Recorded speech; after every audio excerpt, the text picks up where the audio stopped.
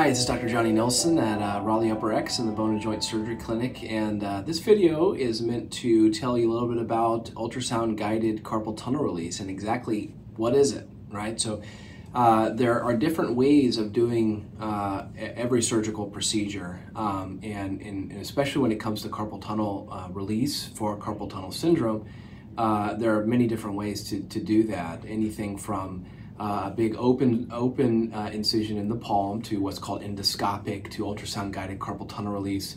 And even within those those methods, there are different ways of, of doing those things. So, the main uh, uh goal of this video is to tell you, you know, what a, what is ultrasound guided carpal tunnel release and how is it different from from other procedures. So, uh, the main thing to understand about this is how how it's done. Is that the technique is different um, and, and it's, it's, different in two ways. So it's, it's different in that the incision is in a different location, and it's different in the way that I see and I perform the procedure as your surgeon, as your carpal tunnel surgeon. So, uh, ultrasound guided carpal tunnel release is done um, through a small incision. So, unlike uh, old surgeries, um, which I still do for certain reasons, um, old carpal tunnel releases were typically done through an incision right here at the base of the palm, right?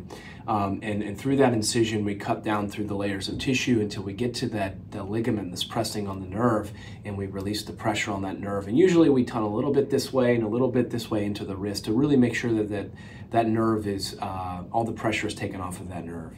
Um, there's also other ways called endoscopic, right, which are a little bit uh, that I'm also very familiar with um, uh, that require a little incision right here at the base of the palm. Now, ultrasound guided carpal tunnel release kind of takes that to the next level, right? So as, as the years go on, our incisions have gotten smaller, and we're able to do the same thing through smaller incisions. So now, endoscopic or the ultrasound guided carpal tunnel releases are done through a tiny incision about yay big right here at the base of the palm and, and through that incision, we're able to do everything that formerly we needed to make that open incision on the palm for. And as I, as I mentioned, there are still indications and there are still um, situations where either uh, open carpal tunnel release or endoscopic carpal tunnel release are still performed, including by myself. But, but, the, but the ultrasound guided carpal tunnel release for the right patient, for the right reason, is, is a really great procedure. So it's new in that way in that the incision is different, right? Uh, number two, it's different in, in what we use. So the device that we use, I have one here um, that we use to release the, the, the, carpal tunnel. Basically, this device is what is inserted into the wrist. So this device actually goes in just like this into that little poke incision in your wrist. And uh, it's ex extended into that little tunnel where the nerve is. And you'll see there's a little teeny knife blade right there that goes back and forth. And that knife blade will basically uh, slightly open that carpal tunnel. It takes it from a very restricted tunnel that will not get any bigger uh, and slightly opens it a little bit. And what that does is it allows new blood flow into the nerve and it what's, what's called decompresses the nerve or takes pressure off of the nerve. So that's what that um, uh, the ultrasound guided carpal tunnel release is different. And the second way is that that device that's used. Um, now the third thing is is how it's performed, right? Which is the biggest difference difference for you as the patient. So it's performed uh, in a special way, which is ultrasound guided, right? So there's three main ways that we do carpal tunnel release in terms of how the surgeon, how I see what I'm doing, right? Number one is the old fashioned way, which is still a good way, right? Um, from the standpoint of doing things safely and, and, um, and that includes basically me as the surgeon looking at what I'm doing straight with my eyes, right? Usually we use special operating microscopes and we look through those just to magnify everything. Uh, but that is how the standard open releases are, are still done.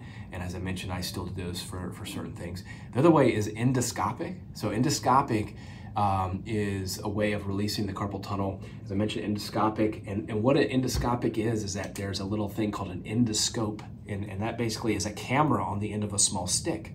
And instead of me looking straight at what I'm doing with my own eyes, I put that little stick inside the carpal tunnel and I'm looking at a television screen that shows me what the camera is seeing. So that's called endoscopic. And, and that's just a different way of seeing what we're doing. Now, ultrasound guided is different in that I'm not looking at it straight with my eyes. I'm not looking at a camera uh, or a TV screen. I'm actually looking at an ultrasound image. Um, so with one hand, I hold an ultrasound probe, right, which is just a little transducer with one hand, and then I perform and hold the device uh, with, with the other hand. And I'm able to do both of those things at the same time. And so I will be holding the probe with one hand, looking at the ultrasound screen, and I will be seeing all those structures around that nerve, um, and, and, including blood vessels uh, and the nerve. And, and, in order to keep them safe and to do this surgery well, I'll be using that ultrasound. Um, and, and so this device is actually specially engineered so that it has little balloons on it that you can see really well on ultrasound. So you know exactly where that little knife is at all times. Um, you know exactly, and that's one of the main benefits I think of this procedure is that um, you know it can be done very safely because the ultrasound, unlike even with open surgeries where we don't always see things until you're very very close to them, I know the minute I put that ultrasound transducer on the skin, I know exactly where that nerve is. I know where the blood vessels are. Um, and I know ev where everything is that I need to do. Um, and so that's one benefit of the ultrasound guided procedure. So that's how it's different, right?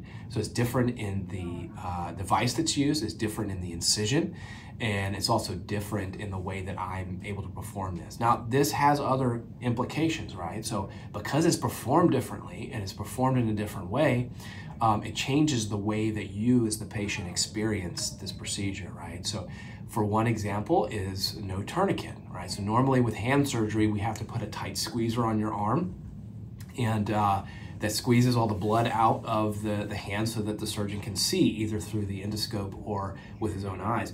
Now with this procedure, we don't need that. And in fact, we want there to be blood flow to the arm because we want to be able to see those blood vessels pulsing. And so it changes that. And for some patients, the tourniquet can be intimidating and it can be uncomfortable for them uh, to have that really tight squeezer on their forearm.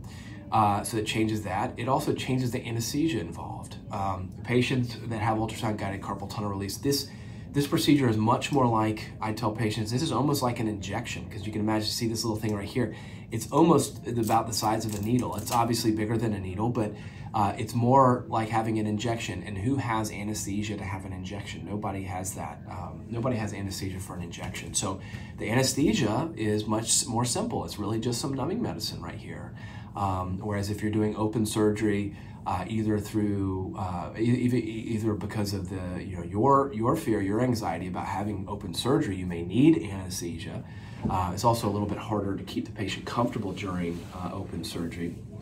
So hopefully that's helpful to kind of tell you about what ultrasound guided carpal tunnel release is, how it's different uh, from the other ways of releasing um, the um, carpal tunnel.